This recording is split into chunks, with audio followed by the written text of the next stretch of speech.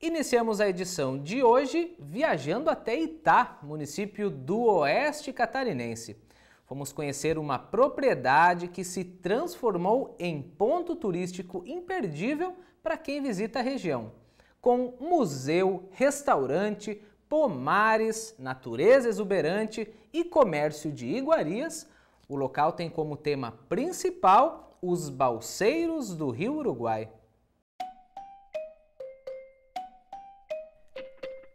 Cercado pelas belas paisagens de Itá, o Recanto do Balseiro é um convite irresistível para voltar no tempo. Essa propriedade do oeste catarinense é hoje referência nacional quando o assunto é a colonização dos desbravadores balseiros do rio Uruguai. O local resguarda a trajetória dos imigrantes italianos e alemães que por volta de 1918 desciam o rio por quase 600 quilômetros para vender toras de madeira. O destino era o porto de São Tomé, na Argentina. O idealizador desta memória viva é Nilo Celso Brandi. Apaixonado por história, por cultura e por uma boa conversa, ele fez faculdade de turismo e hoje dedica-se totalmente ao empreendimento rural.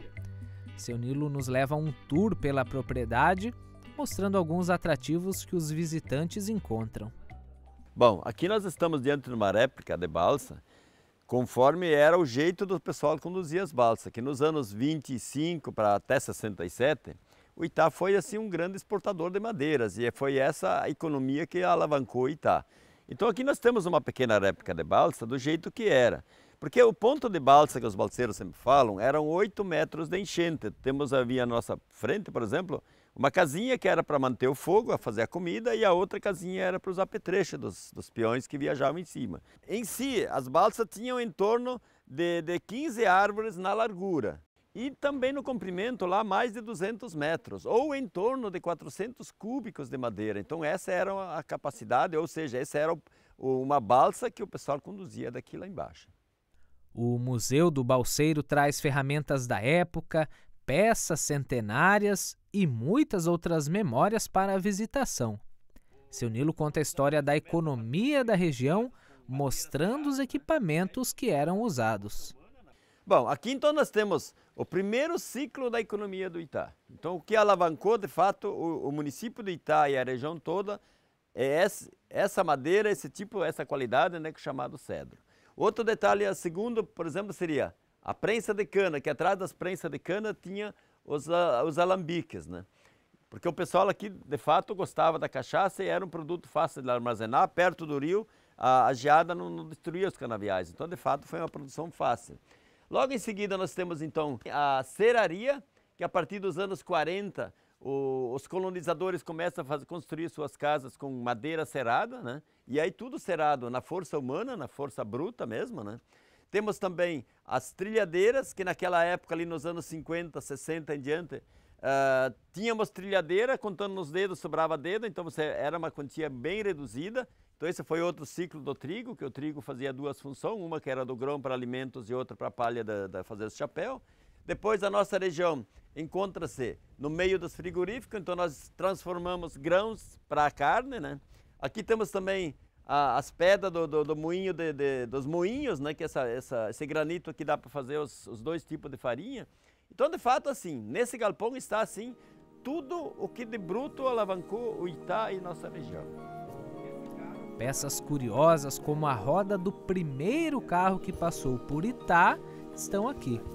Ela data de 1913.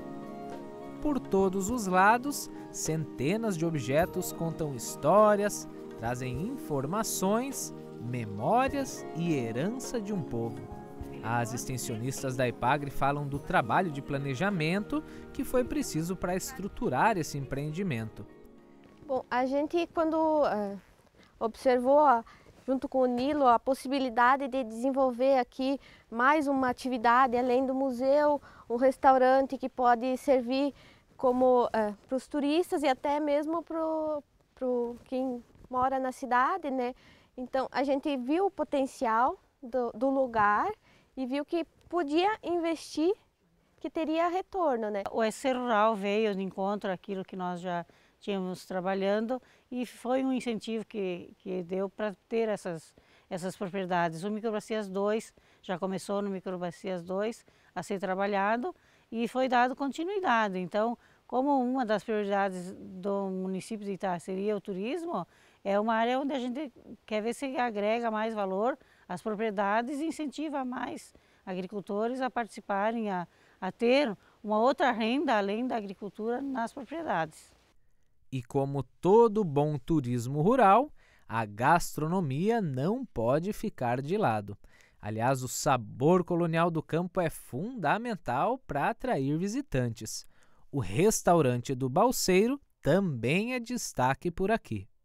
Tem os pastéis, porções de filé de tilápia, polentinha, batatinha, a caipirinha também acompanha muito bem, que o pessoal gosta, e as sopas de anholine que a gente está fazendo e está saindo muito bem. Também a gente está fazendo bolachas, cucas, pãezinhos, café colonial que a gente está servindo. E daí a gente faz a festa do balseiro, 30 de setembro de cada ano. Aí o prato do, do, do encontro do balseiro é feijoada, a omelete, que hoje é omelete, não se fala mais em fortaia, e outros pratos, a mandioca, carne defumada, costelinha de porco defumada. Mas está muito bom, a gente está tá se saindo muito bem. Eu acho que tá, a gente está se saindo bem. Estou gostando. O Itá hoje é um, um, local que tem bastante pousadas, também temos bons hotéis para o pessoal vir pousar. Aqui próximo mesmo tem a pousada da Valmaria. Então tudo isso uh, agrega hoje valor para nós. Então o turista que vem para Itá vem realmente conhecer coisas boas, coisas de qualidade, né? Também nós temos que atender bem, tá? E vamos tratá-lo desse jeito para que ele volte mais duas, três, quatro vezes.